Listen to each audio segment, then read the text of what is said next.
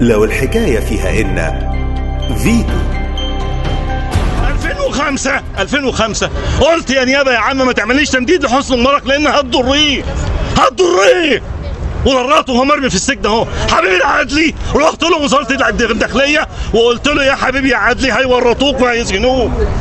والمتخلف عقليا وزير الداخلية الحالي. قلت له قلت له ما تضربش.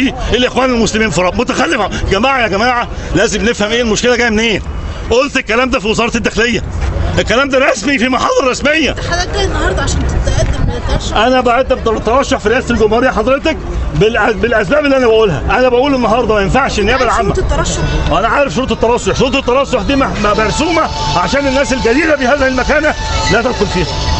اللي حاطط حضرتك استفتاء الدستور 2014 نعم. استفتاء الدستور 2014 أنا ما عامل أنا عامل لا, لا للدستور لا للدستور ومتقدمة رسمي. في عهد محمد مرسي وفي عهد محمد حسني وفي الوقت الحالي. لا للدستور لا للدستور عايز أقول مش لا للدستور بتاع الإخوان ولا الدستور الحالي ولا اللي قبله؟